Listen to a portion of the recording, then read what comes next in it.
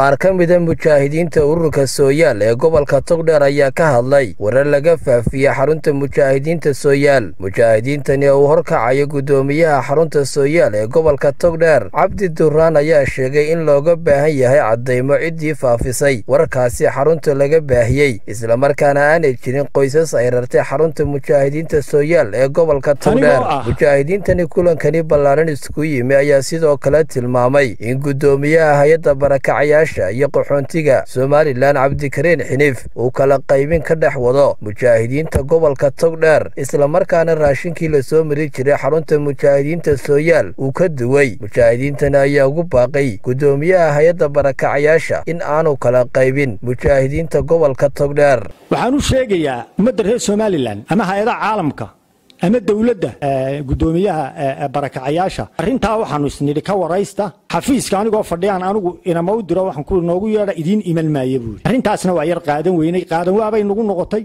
Runtii deni weynoo mas'uula oo mas'uuliyad fara badani saarantahay oo isna mas'uuliyada ka saarantaho xafiiska ka saarantaho qaranka ka saarantay buu ahaa. Inuu noo yimaadaabay ahayd inuuna waraystaabay ahayd inaanu annagu wixii dacniga iyaga ah iyo wixii dantayada ah iyo wixii nagu jira aanu iska waraysanaabay ahayd. Shantaa boqol iyo siddeetankaa la raray ee la sheegay. Annagu maanaan rarin. Waraaq aanu annagu bixinay ama dugmati aanu bixinay oo aanu ku rarayna ma jiro. Cidda tidhi waanu raray cid asanaba haanu garanayno oonu wejigooda garanayno na ma ahayn. Arrintaasu waxay noqotay arrin naga fac weyn. Waxay dhalisay kacdoon mujaahidiintii dhammaantood kacdoon. Kuwii gobolka kuwii degmooyinka kuwii tuulooyinka kacdoon bay dhalisay waxaan leeyahay dadkii kiliibkaa duubay inay caddeeyaan cidday rareen iyo meeshay u rareen iyo sifahay ku rareen iyo sharcigay u haysteen iyo siday yihiin. Waxaanu ognahay niman mujaahidiina oo fara badan magaalada daafeediisaiyo ka degan waanu ognahay. Waa niman dee mujaahidiina waxaanu la qaban karra waa la qabanayna waana hambalyeynayna waxaanu leenahay sida sharciga ah xafiiskooda way u madax bannaan yihiin inay ka adeegtaan. Anigu waxaan u sheegayaa mujaahidiinta cidhifka joogta gobolkan togdheer weebuuhoodla inta ka sokaysa ilaa iyo dabagorayaale. Telefoonkooda lagu soo dhacayo. War waxayna soo gaadhayna ma jiraan.